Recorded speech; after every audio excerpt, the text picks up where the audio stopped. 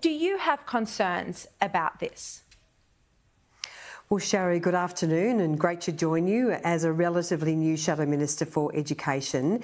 And uh, absolutely, I have concerns because academic freedom and freedom of speech on university campuses is paramount.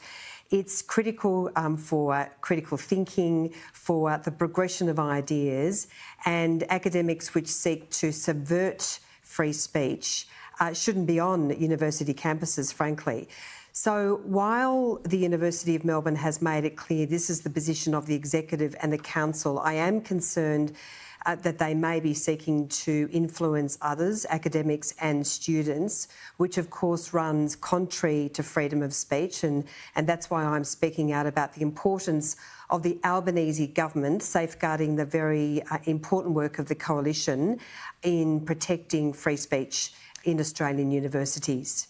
Do you think there is going to be a genuine debate here on university campuses uh, when already, you know, it, it's it's not considered um, the right thing to do for many people to support the no uh, campaign. So, do you think there is it is going to be even socially acceptable uh, for students who make it clear that they don't agree with the university campus, with the executive's position at Melbourne University?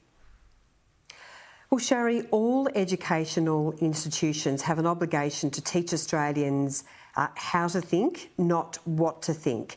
So there needs to be a discussion uh, in a balanced way of this particular issue.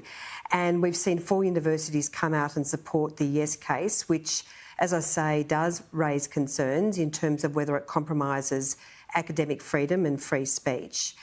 Uh, but I also am really concerned about where this could lead because I think there are a number of academics, and I have to point out my former university, Monash University, the law faculty has in fact made some statements in relation to the voice which are demonstrably wrong.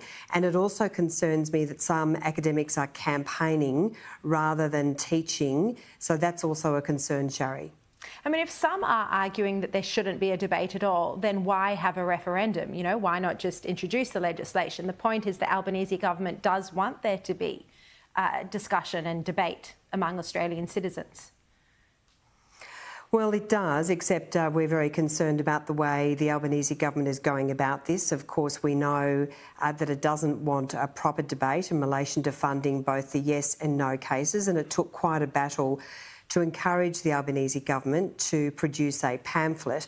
But Sharri, look, I just want to point out something that's really concerning, and I'm looking at something published by Monash University on the 27th of February. Yeah. It's a it's a it's a debunking 10 myths, and one of them talks about how um, any representations made by, made by the voice would not be subject to any court challenge. This is because the courts have always been reluctant to interfere with the internal workings of Parliament. Now, that's demonstrably wrong. Even the Attorney General, Mark Dreyfus, has said that, of course, the voice uh, um, can be challenged by in the High Court, and that's normal with any constitutional provision, particularly any change to our constitution.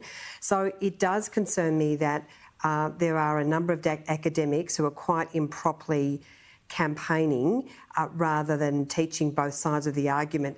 But let me just commend Universities Australia, which has not mm. expressed a position, and I think that's the right and proper thing to do. All right, Sarah Henderson, thank you for joining me this evening.